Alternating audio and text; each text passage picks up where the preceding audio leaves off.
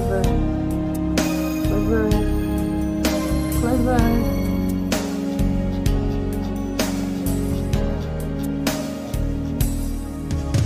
Sorry, I've never told you.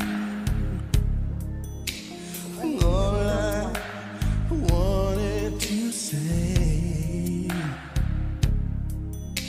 and now